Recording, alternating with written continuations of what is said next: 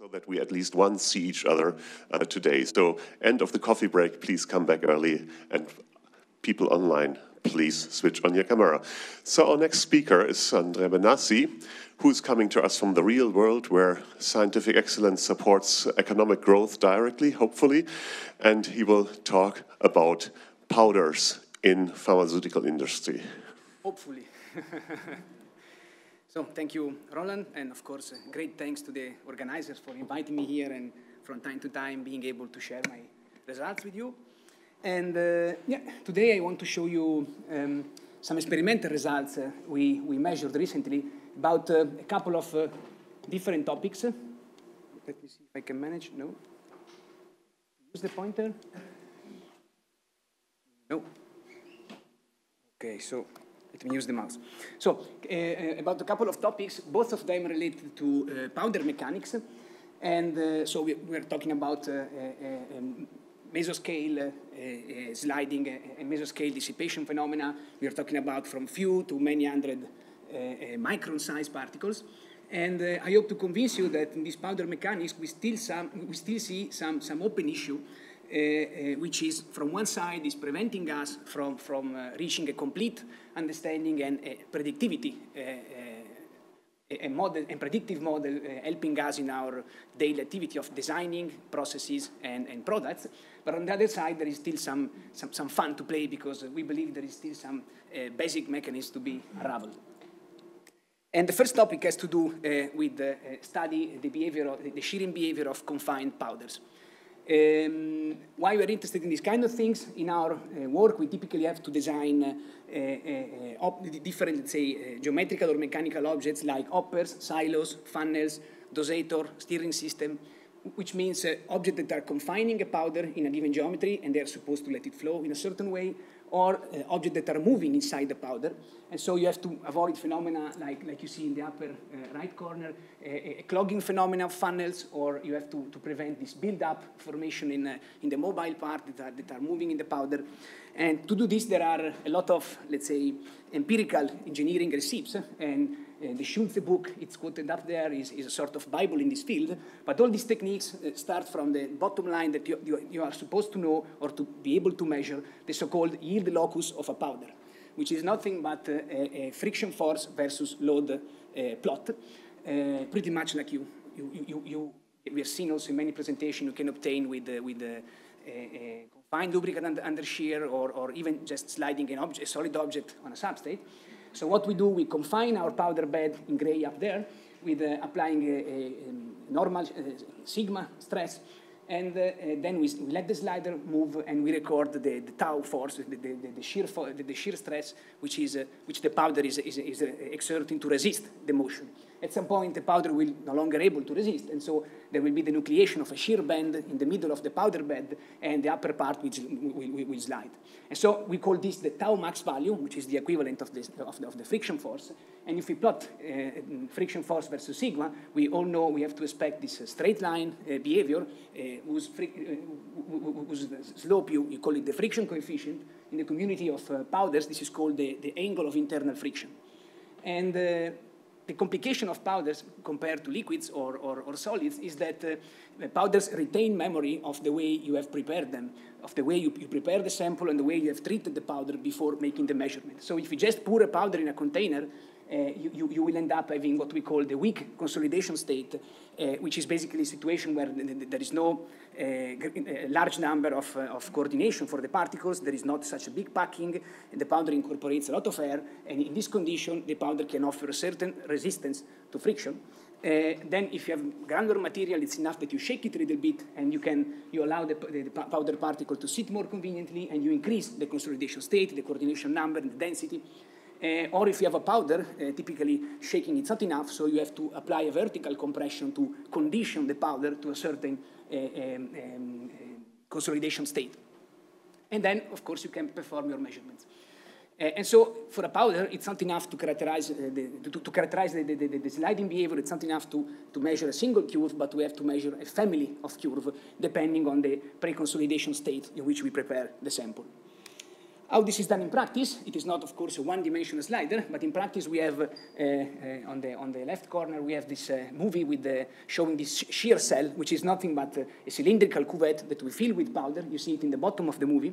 And then we have uh, uh, um, a piston, which is pushing the powder vertically, and then we can rotate it at constant velocity. You don't see the rotation because we are talking about few degrees per minute, so I should have accelerated the movie to let you, to let you see it by naked eye.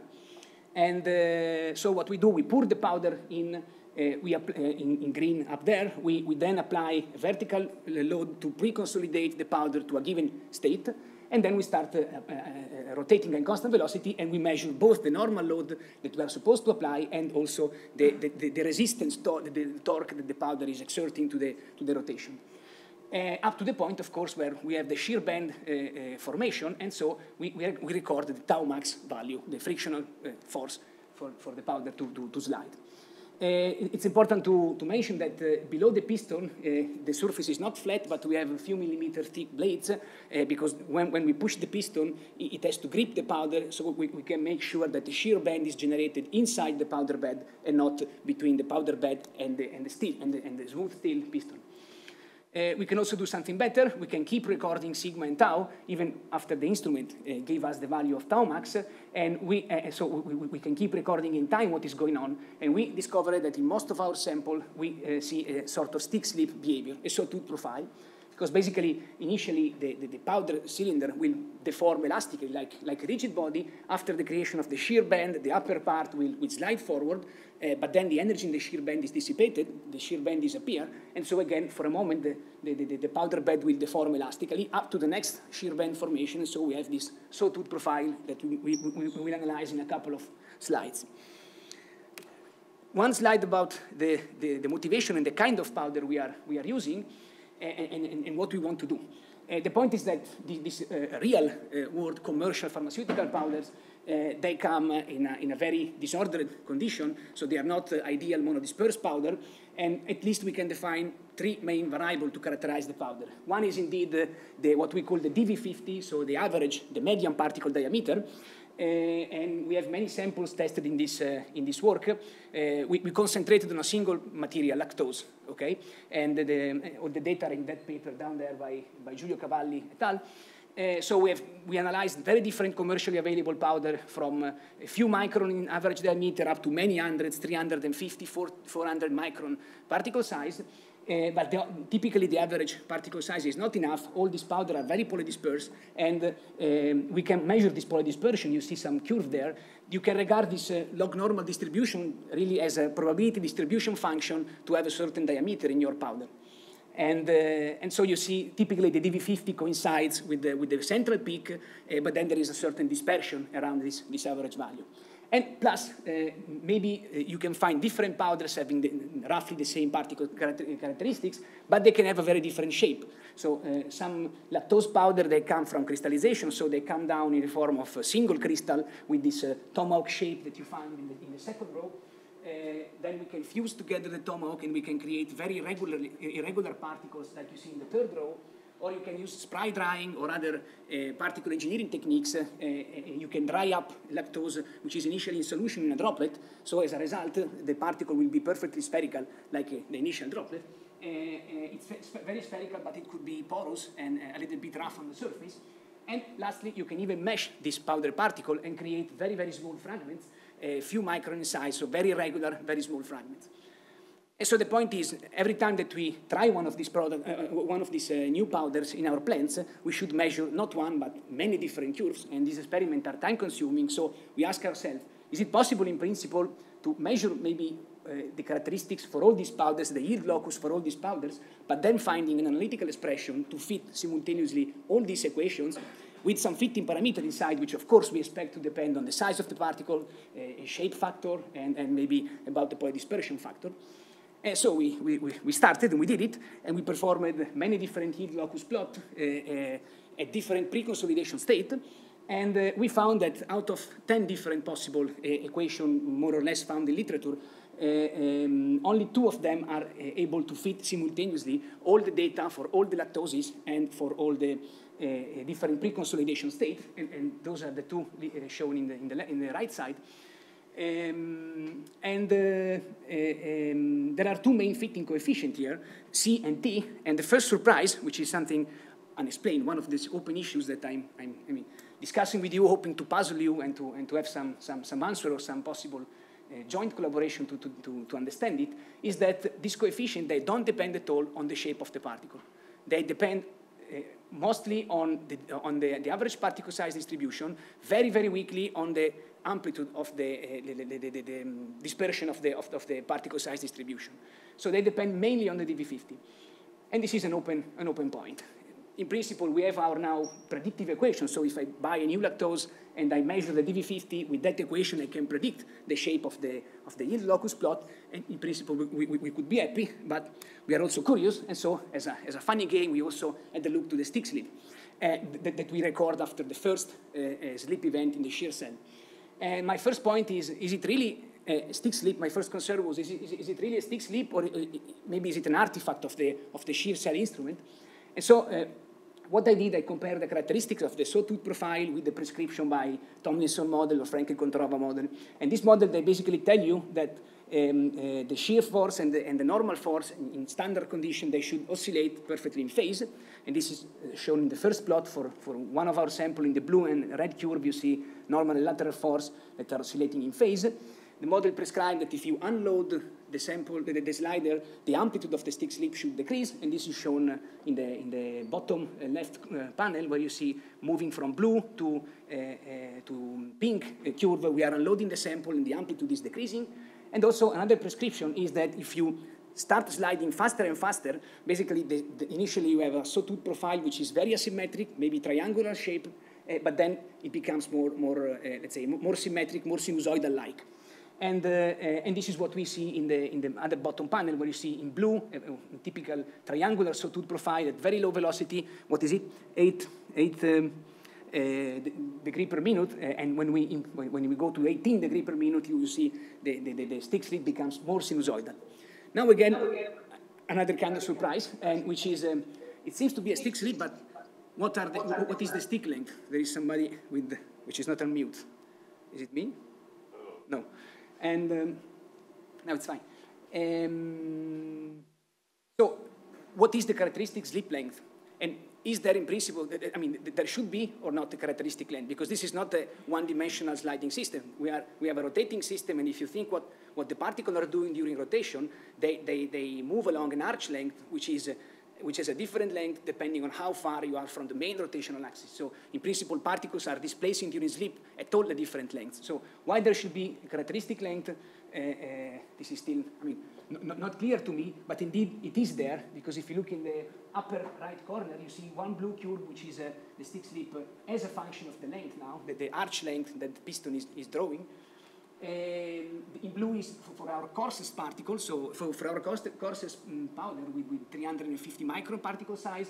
And uh, in the yellow case, we have the smallest particle size, a few micron particle size. In both cases, stick slip is there. I would have expected to see it more irregular. Uh, uh, and instead, it's very, very regular. And there is some characteristic length, which is in principle uh, dependent on the particle size because it's smaller in the yellow case and larger in the, in the blue case. Uh, uh, but it's difficult for us to have a predictive, uh, let's say, model which is allowing us to understand and to predict which is this characteristic size. And then we also measured the slip time and the, and the stick time. And again, there is another surprise. The slip time does not depend at all, neither on the particle size nor on the particle shape. Uh, you see the scale, it's, it's, very small, so it seems a scattered plot, but it's 0.2 or 0.28, so it's roughly constant, and it does not depend on, uh, in, on, on, anything. Uh, whereas the stick time has a linear increase, which is again uh, uh, okay with Tomlinson, because you can imagine that if you have a larger particle, the, the, the, washboard potential in Tomlinson is deeper, and so it takes longer time to, to depin from a minimum. But then at some point, it seems to go to a plateau. Here, the data are very scattered, so, so it's just a, a suggestion, uh, which is definitely something we have to investigate more. And again, also for this point, we don't have a, a very uh, deep explanation.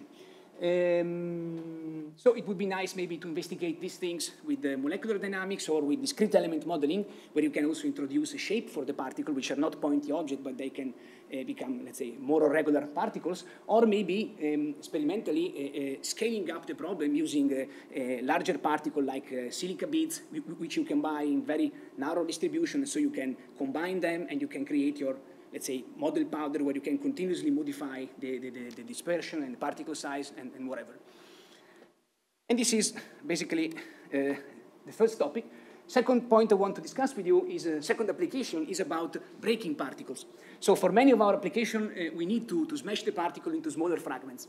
One one reason out of many is, for instance, in our product for inhalation, we ask patients to inhale a dry powder and few milligram, and this powder particles are supposed to deliver the active principle into the alveoli, which is the terminal part of the human lungs. But human lungs uh, works as a filter for particle, and so the only way for particle to escape this filtering action is to be in the range between 1 and 3, uh, 1 and 5 micron. Uh, and so typically we buy powder that are coarser or we synthesize our own powder uh, that, that, that, comes with particle size determined by the thermodynamic of the reaction and we cannot control it specifically. And so we have to break them into smaller fragments. This is done in pharmaceutical application in jet mills, which, are, which is the, the object you see up there, side view and top view. Uh, and basically, jet mill is a sort of uh, uh, annular chamber 10 to 30 centimeter in size, depending on the plant, there are some um, um, lateral nozzle here, here, here, where you basically uh, um, inflate a high-speed gas like nitrogen or dry air, and uh, it's a supersonic uh, uh object because Mach inside it's 1.5 up to 2. Uh, the outlet for the gas is in the central part, is the, the, the central tube you see there. So you, we create a, a, a vortex of supersonic uh, gas, which is rotating, and when you put the powder in, the powder is entrained in this vortex and it starts to rotate, and the centrifugal force is pushing the particle uh, uh, to, to, the peripheral uh, wall chambers, uh, chambers of the wall, and, and, here is where the particles are supposed to have a lot of collisions and break into fragments. When the fragments are small enough, the, the, the drag force exerted by, by, the gas moving out overcome the centrifugal force, and then the particles are able to, to uh, rotate towards the center uh, via, via spiral trajectories, and finally they are collected in the, in, the, in the outlet pipe. So this is the way we classify only uh, very, very fine fragments. And uh, you see down, down here a characteristic uh, experiment we can do. We, we put in the, in the mill uh, a powder which is uh, characterized by the black line, the starting material, so a powder with a very, with a very big polydispersion and uh, 10 to uh, 11 um, micron in size as an average diameter. And after milling, if we measure it, you see that the particle size distribution is left shifted, and now the, the DV50 is around, so the average particle diameter is around 2, 3 micron and it's also uh, sharper, so it, it, it's, it's, it's, less polydispersed. And uh, so this is a, a, good outcome of the jet You see many here because one of the parameters we can play with in the, with this kind of process is the pressure of the gas. So in principle, the stronger the pressure, the, the, the, the fastest the gas, the more violent the collisions, and you could in principle left shift a little bit more the particle size distribution. Uh, now, this material, uh, this movie, by the way, comes from some simulation we did uh, that, that, are published in that paper uh, down here. Uh, it was a first attempt for us to, to build up a predictive model for this operation. And we need a predictive model because uh, the powders that we are milling are very expensive, from 60 to 80,000 euro per kilogram, and they come from the synthesis reactor in few kilograms. So if you use trial and error procedure to, to set up this process, we consume half a kilo which is, you, you understand, very, very embarrassing and, and, definitely not convenient. So the idea would be to have a predictive tool. Simulations are too complex because you have supersonic fluid, compressible fluid, all the particle mechanics that you have to put in in the equation. It's very messy. So it was a first attempt. Uh, our second attempt was, uh, let's try to make uh, an, an, empirical connection. So let's measure something on the single particle, some mechanical properties of the single particle, doing indentation, classical indentation experiment that people interested in, in fracture mechanics they know very well. And then let's try to make a connection uh, between uh, the microscopic properties we measure on single particle and uh, the behavior of the powder during milling. So uh, what we do typically, we glue a single powder particle on a, on a glass sample holder, uh, and then we put it under a, a micro indenter uh, with a tip, which is basically many micron large in size, much, much bigger than an AFM tip. We, we control the vertical load Pmax, you see in blue up there, and we push it down, and during the, the, the, the, the uh, approach and retraction, we measure, of course, the force versus penetration curve. Um, and we can also then, uh, we have a, a, a, a tabletop AFM besides, and we can uh, image uh, uh, the, the, footprint of the, of the indentation just after the, the, the, indentation. And you see an example here. So you see it's a very few micron wide uh, indentation footprint. And we can also measure the crack length, which is an important element. The, the, there are cracks that are departing from the, from the, the edges of the footprint. Uh, here there is also one which is uh, crossing the whole footprint, which should not be there. but but sometimes it happens. And, uh, and with all this quantity, basically with the crack length and the uh, information in the hysteresis loop, we can uh, calculate all these quantities. Uh, the hardness, which is of course uh, uh, the, the, the, normal force divided by the area that you create in the footprint, which is of course, if you know the shape of the indenter, it's proportional to the penetration depth simply. And the hardness is an index telling you how prone is a material to undergo a plastic deformation, whatever kind of plastic deformation. The harder and the more difficult it is to, to plastically deform a particle. Then there is the Young modulus, which doesn't, not, doesn't need an introduction. Here we calculate it as the slope of the hysteresis loop. Then when you have both of them, and if you measure the crack length C, uh, C you can calculate the fracture toughness, uh, which is also a stress, um, uh, uh, dimensionally speaking. And uh, it's basically the maximum stress that you have to overcome before you have the free irreversible propagation of the, of the crack in your material. So when you overcome that stress, uh, crack propagates freely and they propagate through the whole length of the particle, fragmenting the particle into smaller pieces. So the smaller, the better. It means that we have to stress, we, have to apply less stress to the particle to generate fragments. And even more instructive is if you, plot, if you plot H over K, which we call the brittleness index, uh, because this quantity, uh, when it is very big, particles will be very prone to get uh, um, fragmented by brittle fracture, by crack propagation, uh, because Kc means it's very small, so B goes up. Uh, on the contrary, when B is very small, this could be because Kc is it's huge, so you, you, need a huge stress in your particle to, to initiate the crack propagation, so that particle is not prone to break by brittle fracture, or either because H is still small, so the material is prone to deform, but not by brittle fracture which means that it can only deform by ductile uh, uh, deformation. Uh, so again, we would like to have large B for our material in, in, in our jet mills. Final quantity that you can calculate with a bit of modeling and assumption underneath is the so-called critical size, which is basically the smallest size of a sample or, or a particle uh, that, you can, that, that, you can obtain before you see uh, the ductile to brittle transition. So at some point, if you load your, your particle, there is I mean, you, you, will never succeed in, in reaching the stress to propagate the crack um, before you start deforming plastically the particle. So uh, this is basically a, a, lower limit for us because this is, uh, for us, the smallest fragment attainable in a jet mill. If you, if you keep milling a particle uh, with size equal to DC, it will plastically deform on the surface, so it it will become like the moon with a lot of craters on top. Maybe some material will amorphize on the surface, but you will never succeed in breaking it into smaller pieces. So we calculated all these quantities for some compound of interest for us, like, like again, lactose, tartaric acid, sodium chloride, and you see compound ABC, that these are compound of uh, our synthesis, they don't still have a name. And uh, we, we, table all, all these parameters, and then we put the same sample in a jet mill, and we perform some milling trial. Uh, you see in black, in every, pro, in every plot, you see in black the starting material particle size distribution, and correspondingly, in, in colored curve, you see the left shifted distribution after milling.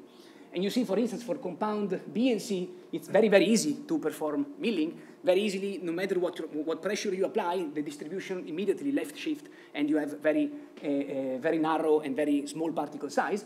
But other materials like sodium chloride or, or tartaric acid are much harder, and even if you push the pressure uh, up to the maximum value, you do not succeed. So we wanted to see, is it possible to link the, the two aspects? And basically, we found that uh, the, the, quantity which is correlating best with the experiment is the brittleness index.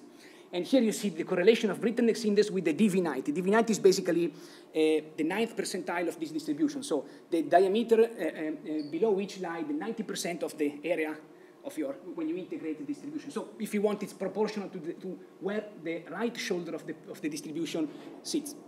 And you see here in uh, the, the, the when you, when you increase the brittleness index, it's easier to shift the distribution to the left. So it's easier to obtain smaller fragments. Of course, to have fully predictive, uh, predictive uh, uh, theory, we, we, would like also to predict where the right shoulder of the peak, uh, sorry, where the left shoulder of the peak is, so the smallest fragment attainable will lie.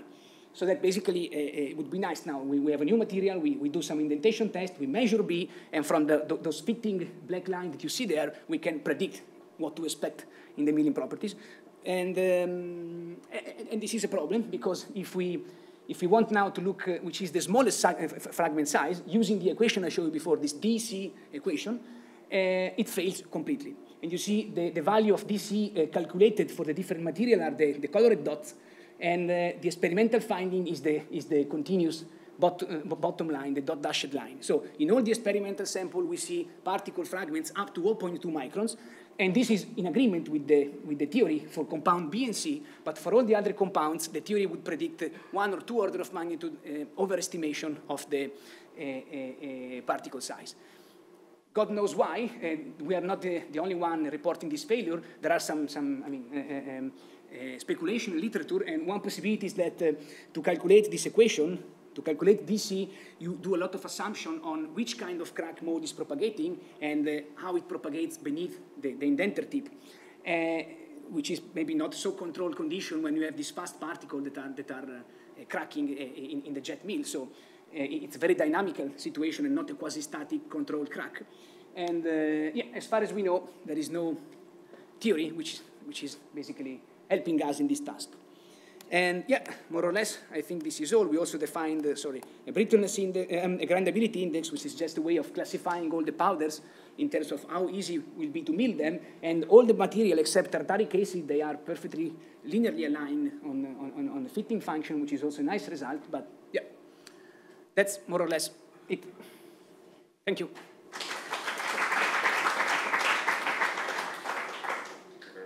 Indeed a truly industrial talk where we have compound A, B, and C and are not, are not supposed to know what it is.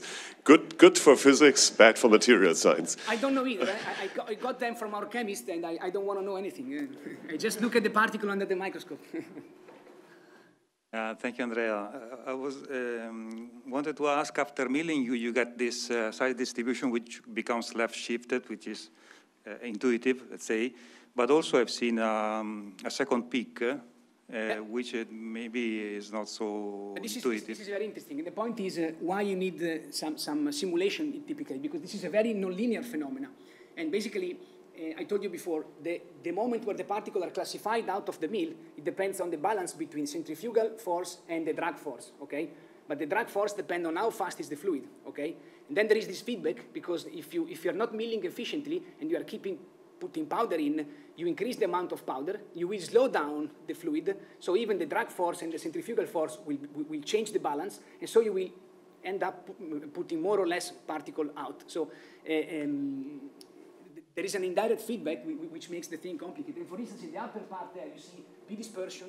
Uh, what happens is that you put powder in, and, and, this you can do continuously in a plant. You cannot do it stop and go. It's a continuous flow in, in, in a large industrial plant. And put the powder in, and, uh, and um, the powder is very hard, so it accumulates a lot of material inside the mill. The mill uh, velocity, the gas velocity is reduced, and then all the mill puke out all the powder with the same size uh, it was entering in. Then after puking, the mill becomes empty, and it becomes uh, again faster and faster, and so part of the material which was not puke is finally milling in a correct way. And this is why we have these alternations. Sometimes it pukes big material, in some other cases it works correctly, and, and it's an intermittent behavior. Question here? Yeah. I, I have a, a, a, question about the stick slip, uh, which you observe.